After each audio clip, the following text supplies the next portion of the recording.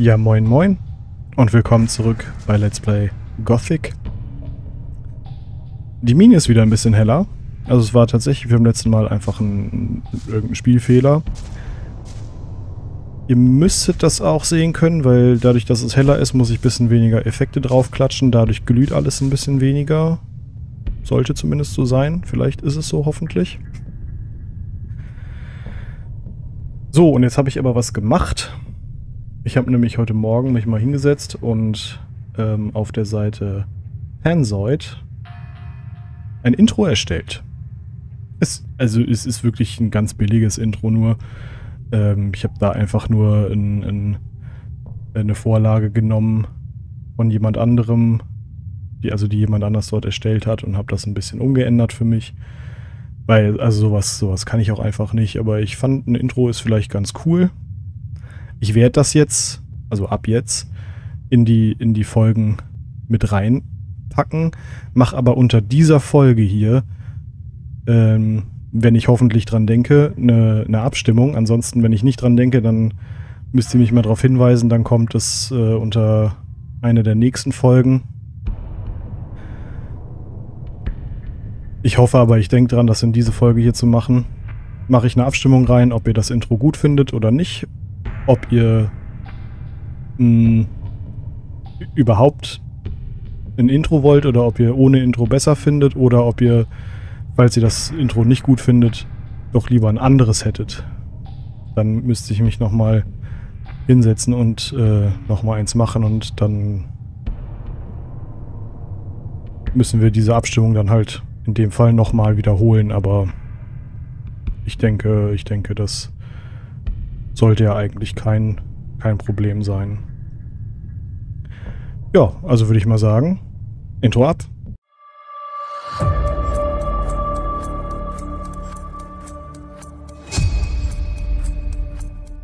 So. Ich hoffe, ich hoffe, das war jetzt nicht zu, zu furchtbar, das Intro. Ich meine, es ist ja nur ganz kurz. Ähm und wie gesagt, auch ein ganz billiges Intro, also wirklich nichts, nichts Besonderes. Wir gehen jetzt mal das Zahnrad abgeben, würde ich sagen. Oh, ist das eine Wohltat, wieder ein bisschen was sehen zu können. Und ich sehe auch jetzt nicht so, so, wahnsinnig viel mehr, aber, aber schon doch, also schon, schon um einiges mehr als noch in der letzten Folge. Ian, dir möchte ich das Zahnrad geben. Ich habe das Zahnrad. Hey, gut gemacht. Ich denke, das wird klappen. Nun zu dir. Du suchst das Nest der Mindcrawler. Hm. Geh mal zu Askan. Er soll das Tor öffnen, damit du die dunklen Schächte durchsuchen kannst. Sag ihm einfach, alles wird gut. Dann wird er wissen, dass ich die Erlaubnis gegeben habe. Ich suche immer noch das Nest der Crawler. Ich sagte doch, geh zu Askan. Er ist der Anführer der Gardisten. Du findest ihn irgendwo auf der untersten Ebene. Ich schaue mich mal um. Ebene. Mach keinen Ärger. Unterste Ebene, also gut. Dann wollen wir da mal hingehen. Ja, ja, doch, ich sehe auf jeden Fall mehr. So, während wir... Ich laufe mal in die falsche Richtung anscheinend. Ähm, ich laufe mal ein bisschen langsamer. Ja, stimmt, ich muss ja hier runter. Dann kann ich nämlich nochmal eine andere Sache ansprechen. Und zwar Folge 19 war es, glaube ich.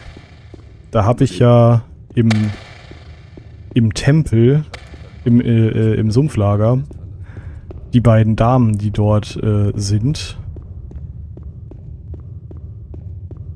so gut ich das eben hinbekommen habe, Oh, ich glaube, ich glaube, der, der wollte auch irgendwas, gell? Oh ne, habe ich mich geirrt. Ähm, habe ich ja so gut ich eben konnte zensiert. Und ich weiß nicht, ob das nötig ist. Also aus meiner Sicht ist das absolut nicht nötig.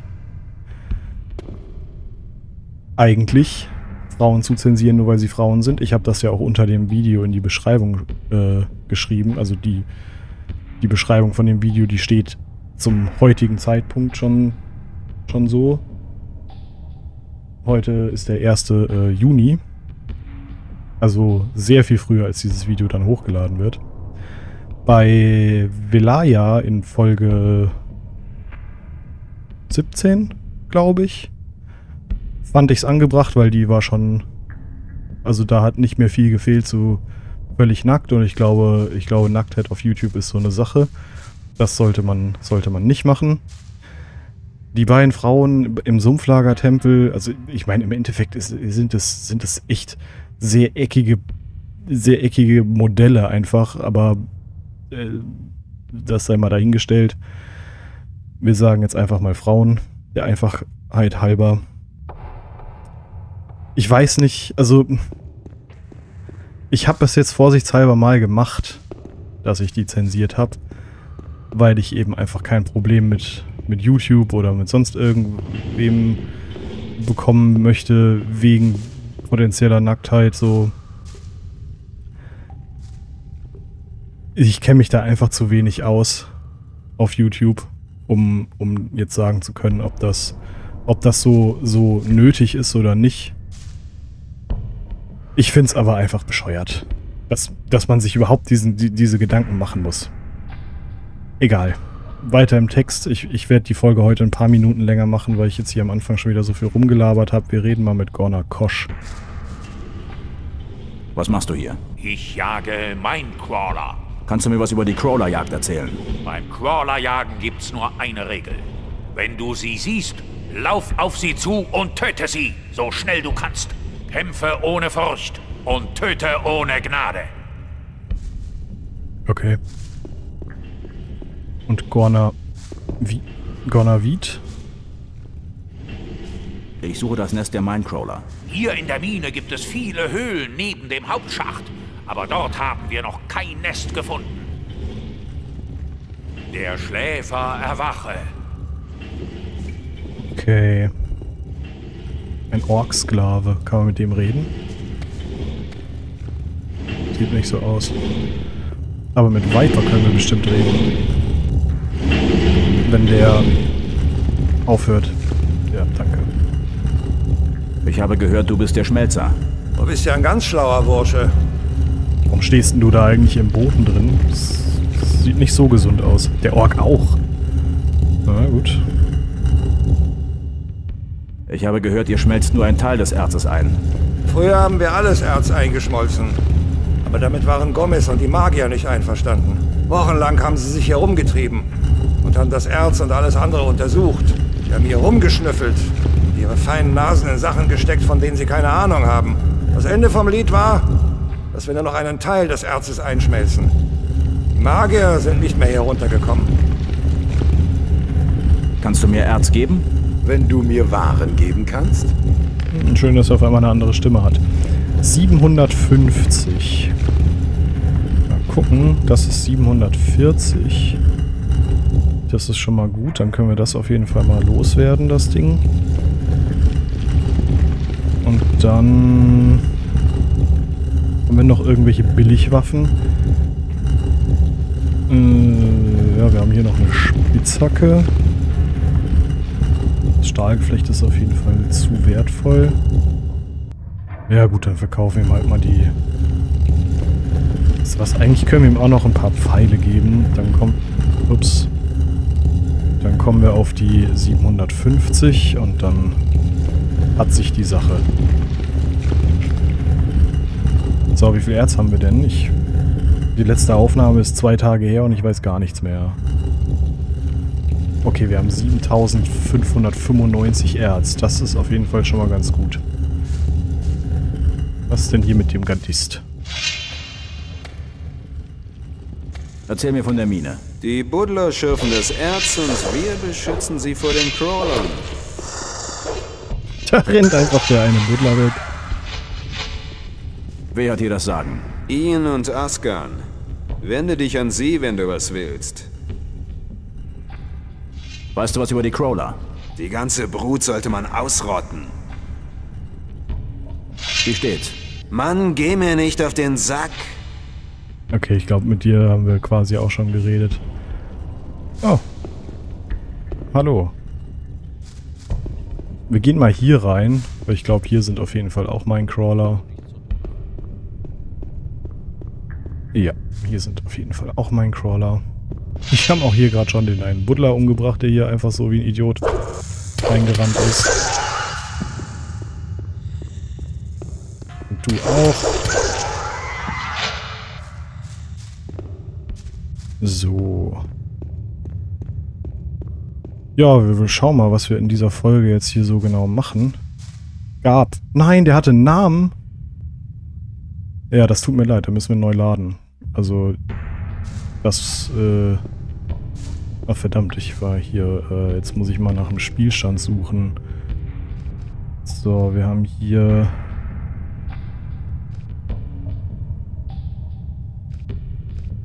Ich muss mal eben... Ich lade noch mal eben den Spielstand Lass hier, mich vorbei! damit ich hier noch mal schnell meinen mein, ähm, mein Folgenbeginn safe machen kann. Und dann gucken wir mal nach einem besseren Spielstand. So, wir haben hier die beiden. Ja gut, der ist jetzt nicht so lange her. Das tut mir leid. Aber ich möchte ungern, dass äh, Gab jetzt hier einfach verreckt. Ich werde mal an allen vorbeirennen. Und mal da hinten reingehen. Und mal hier den, den Minecrawler umbringen.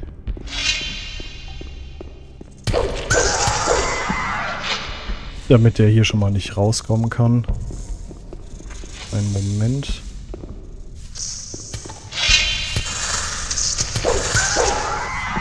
Okay, jetzt kommen hier noch mehr.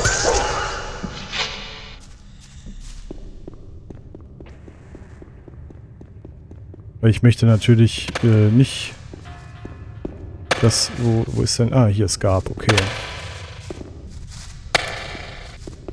Gut, dann werden wir jetzt mal hier speichern. Aber mit dem brauchen wir nicht mehr reden. Und ich mache auch die Gespräche mit denen hier, die mache ich jetzt einfach mal schnell. Bla bla bla. Der Schläfer. Ja, ja, der Schläfer. Erwache. Und dann auch du noch. So. Und dann verkaufen wir dir schnell noch unseren, unseren Krempel.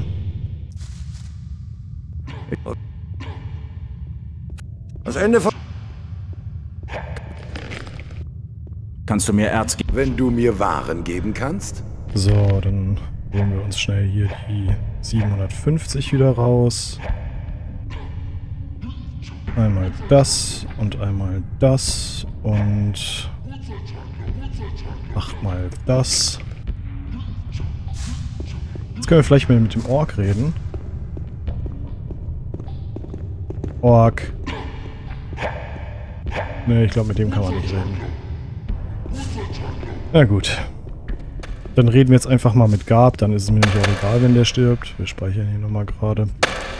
Gab. Was macht der Ork hier? Die Gardisten haben ihn gefangen. Seitdem wird er hier zur Arbeit gezwungen. Er ist ja noch nicht mal angekettet. Warum haut er nicht einfach ab? Er hat es einmal versucht. Die Gardisten haben ihm so stark zugesetzt, dass er ein paar Wochen nicht laufen konnte. Seitdem hat er nie wieder versucht zu fliehen. Okay, wegen der Information habe ich jetzt neu geladen. Na gut. Gut, wir wissen jetzt, dass die Gardisten äh, ziemliche, ziemlich fiese Fieslinge sind. Hey du. Hey, hier waren eben nur zwei Crawler drin. War der eine Crawler, der, bevor wir geladen haben, da reingestürmt ist, war der von hier? Ja, wahrscheinlich, oder? Muss er ja dann ver... Aber hä, wie kam der denn dann... Das ergibt ja alles gar keinen Sinn. Knochenbogen. Können wir den benutzen? Nee. Und den wollen wir auch gar nicht benutzen. So, dann gehen wir mal hier rauf. Gucken wir mal, ob hier irgendwas ist. Das sind halt so Sachen, die, die ich ganz am Anfang mal meinte. Ich, also ich, ich habe das Spiel ja schon öfter gespielt, aber ich weiß jetzt zum Beispiel überhaupt nicht mehr. Hier liegt ein Ring. Ring der Gewandtheit. Was macht der? Kann man mit dem irgendwas anfangen? Geschicklichkeitsbonus 5, naja gut. Also ich weiß jetzt zum Beispiel so Sachen nicht mehr, liegt hier oben überhaupt irgendwas? Was ist der Ring der Gewandtheit? Weiß ich alles nicht. Ich weiß ungefähr, wo wir hin müssen jetzt. Oder be- beziehungsweise jetzt weiß ich sogar ziemlich genau, wo wir hin müssen. Aber... Ups. Falsche Taste. Aber... Ja, viel tiefer reicht mein Wissen halt dann auch nicht mehr. Also hier ist jetzt, hier ist jetzt wieder ziemlich dunkel. Und ich bin mir sicher, dass hier noch Minecrawler sind. Yep. Na ja, gut, es sind, nur noch zwei, das ist jetzt...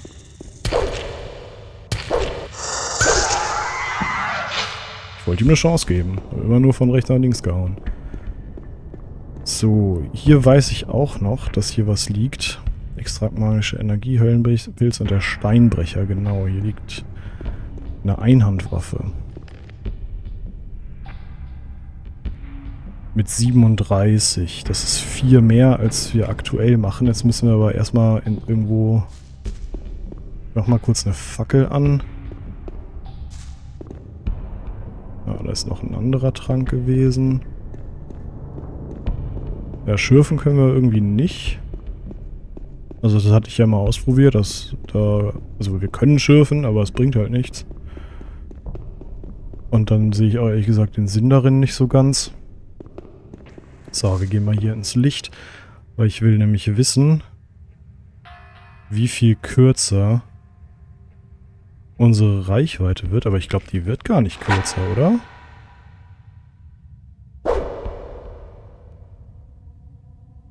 So, das ragt bis... Ja, okay, ups. Bis dahin. Und das Schwert, wenn wir das ziehen... Ah, da, ja doch, die geht, das geht aus dem Bild raus. Dann bleiben wir beim Schwert. Vier Punkte... Vier Punkte weniger, dafür mehr Reichweite. Ist mir lieber.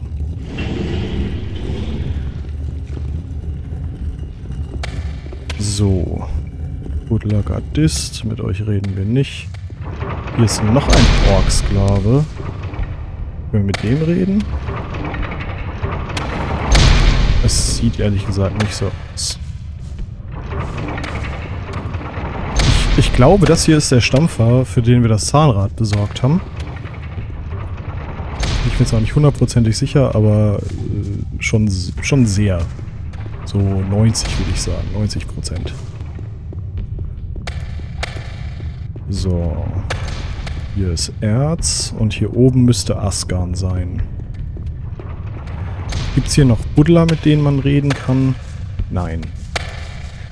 Was ich mich gefragt habe, was passiert eigentlich? Obwohl, ne, ist egal. Ist egal. Wir, ja, ich speichere jetzt einfach nochmal und dann reden wir mal mit Asgarn. Es muss hier irgendwo ein Nest der Minecrawler geben. Dieser ganze verdammte Berg ist ein einziges Nest. Warum ist dieser Schacht versperrt? Egal wie viel Crawler wir getötet haben, von dort kamen immer wieder mehr. Dann wird dort irgendwo ein Nest sein. Lass mich das Tor öffnen. Nein, erst wenn Ian die Erlaubnis gibt, wird dieses Tor geöffnet. Vorher geht gar nichts. Hey Askan, du kannst das Tor öffnen. Ich habe dir schon einmal gesagt, nur wenn Ian... Askan, alles wird gut. Und einen schönen Gruß von Ian. Na gut, wenn Ian die Verantwortung übernimmt, aber nur unter einer Bedingung. Spuck's aus, was für eine Bedingung. Besorge erstmal zwei bis drei Templer zur Verstärkung. Ich will nicht alleine hier stehen, falls die Crawler aus dem Schacht kommen. Tust ja nicht. Oh Gott. Mist. Das muss ich jetzt rausschneiden. Eine Sekunde. So.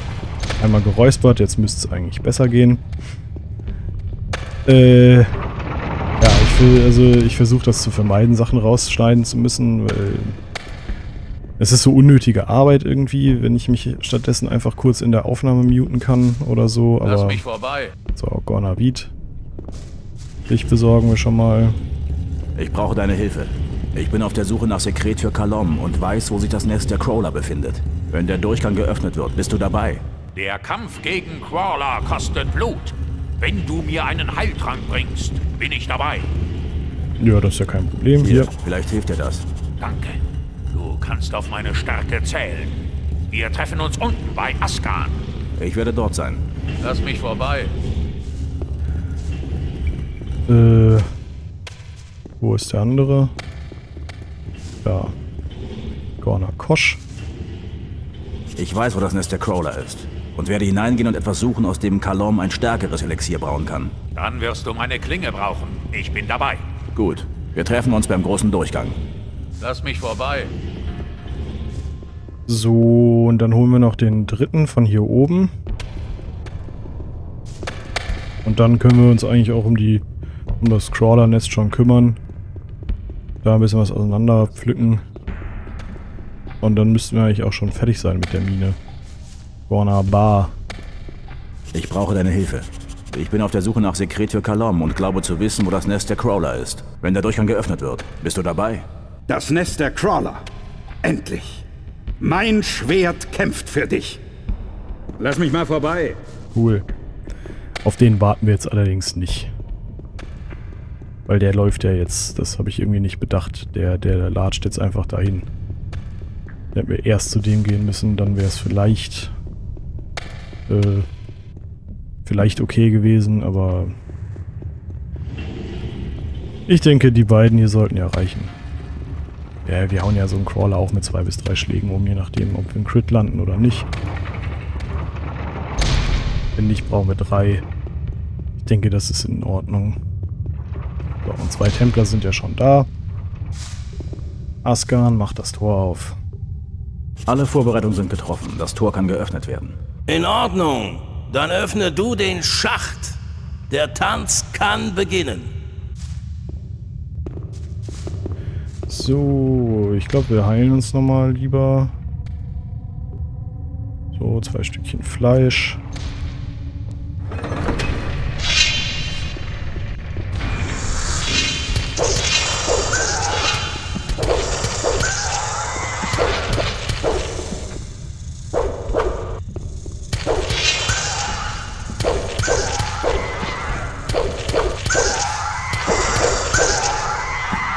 So, ich glaube, wir haben sämtliche Erfahrungspunkte bekommen.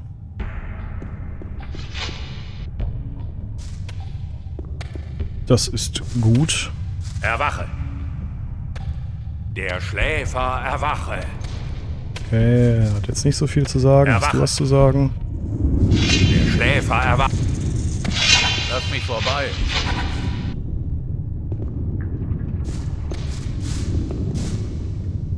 Kommst du denn jetzt her? Jetzt haben wir ein, einmal die Erfahrungspunkte verpasst. Hallo. Okay, Askan hat auch nichts zu sagen. Dann gehen wir einfach hier rein.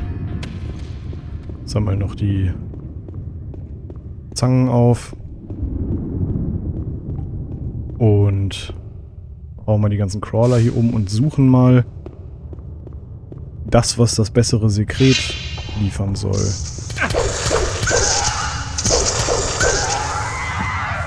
Kommst du her? Nee.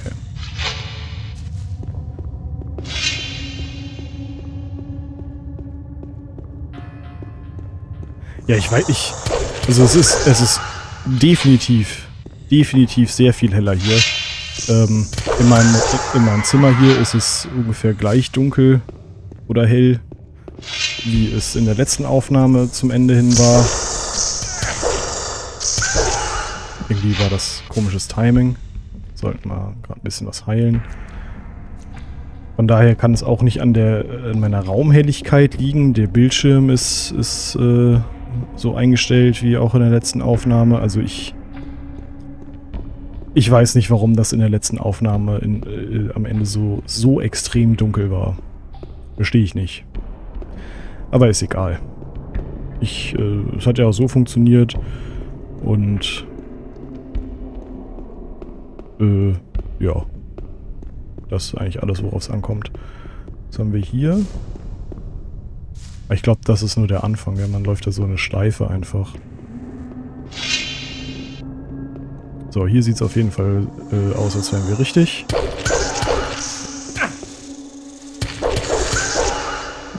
So, dann diese Crawler. Jetzt muss ich mir Rad anders hinsetzen.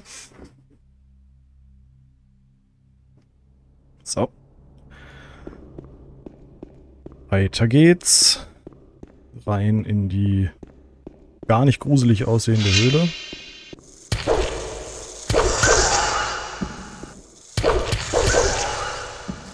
Da ist noch einer. Oh, und da haben wir auch schon... Äh, ja. Diese Monstrosität.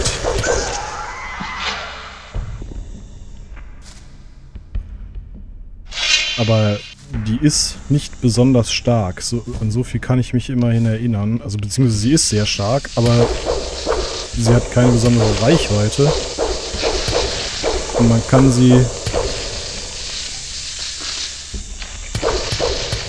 Man kann sie aus entsprechender Distanz angreifen und treffen, ohne dass sie einen treffen kann. Und so schnell besiegt man die Nightcrawler-Königin. Ist gar kein Problem. So, und dann haben wir hier Minecrawler-Eier.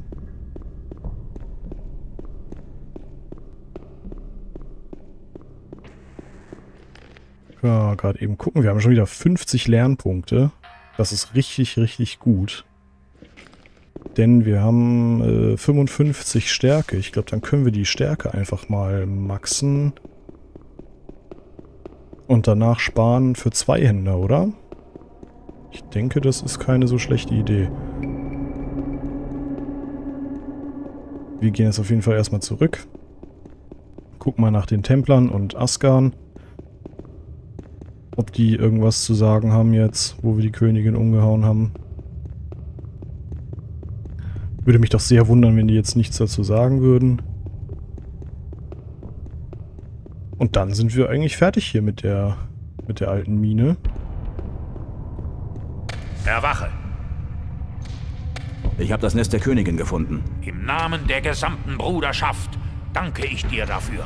Möge der Schläfer auch weiterhin seine schützende Hand über dich halten. Ja, ist ja kein Problem. Der Schläfer erwache. Habe ich doch gerne gemacht.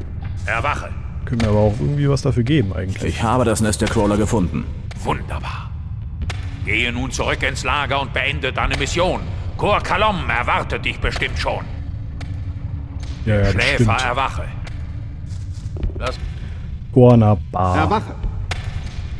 Die hat gar nichts dazu zu sagen. Möge Alles der klar. Schläfer dich schützen. Was ist mit Asgarn? Was hat Hallo. das dazu zu sagen? Nö. Asgarn interessiert es auch einfach nicht, dass wir sein Leben erleichtern. Oder erleichtert haben. Ich bin ja am überlegen, ob wir einfach mal ein bisschen hier Amok laufen. Weil es gibt gut Erfahrung. Aber erstmal nicht. Vielleicht machen wir das später nochmal. So in Kapitel 4 vielleicht.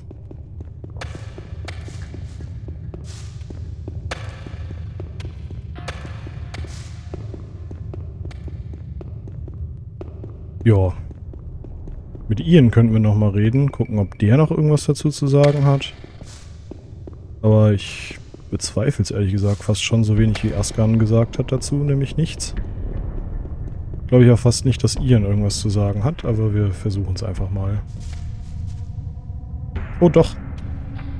Ich habe das Nest gefunden. Dann kehrt jetzt hier endlich wieder Ruhe ein. Nichts für ungut. Gute Arbeit, Kleiner. Hier, nimm diese Kiste Bier für deine Mühen. Na toll, eine Kiste Bier. Ich schaue mich mal um. Mach keinen Ärger. Das war nicht mal eine Kiste. Kiste sind auf Bei dir kann ich 24. Jupp! Alles! Ja, ja, ja. Aber wir können uns eigentlich mal das Erz hier holen. Hoffentlich. Und dafür geben wir ihm... Jetzt bin ich schon wieder hier in irgendeinem Handelsmenü. Es tut mir, tut mir sehr leid, dass irgendwie meine Videos heute daraus bestehen, dass ich... Oder mein Video hier heute daraus besteht, dass ich ja, nichts auf die Reihe bekomme. Ich habe nicht mal was, was ich... Komm, wir verkaufen ihm jetzt einfach 50 Pfeile. So viele Pfeile brauchen wir eh nicht.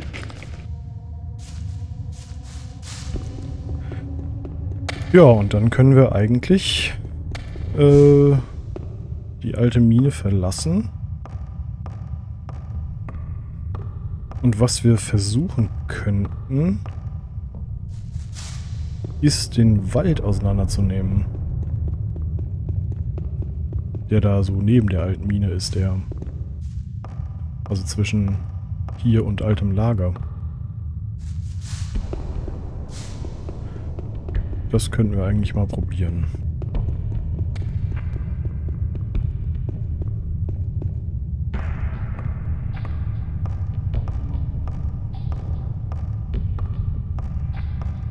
So. Mal eine Sekunde kurz. So, entschuldigt. Da musste ich einmal kurz Pause machen. Ihr habt aber nichts verpasst. Moment, da habe ich doch eben was gesehen. Ah, das sind nur ein paar Pilze. Dachte, das wäre irgendwas Spannenderes. So, dann drücken wir hier nochmal auf Schnellspeichern und dann gehen wir mal wieder aus der Mine raus. Ich habe ja gesagt, ich mache so ein paar Minütchen länger. Sind jetzt bei 31 Minuten aktuell. Ich... Ja, ich würde sagen, so, so, zwei Minuten noch vielleicht. Das äh, kompensiert dann hoffentlich für, für den Anfang dieser Folge.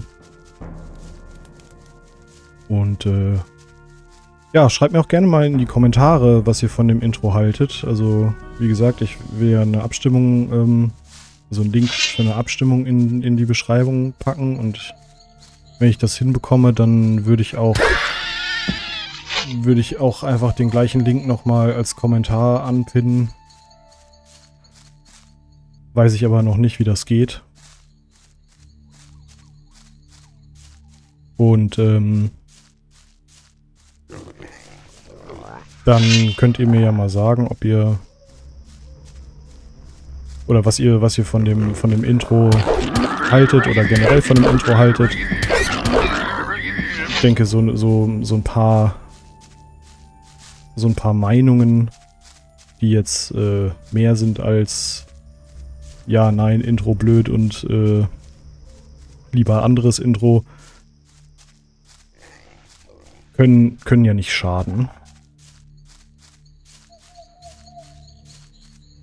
Und dann würde ich mal sagen, machen wir hier einfach mal Schluss. In der nächsten Folge kümmern wir uns dann da vorne um die Blutfliegen und auch so um das Morat hier und was auch sonst noch so in diesem Wald hier rumeiert. Und dann würde ich sagen, bis dahin.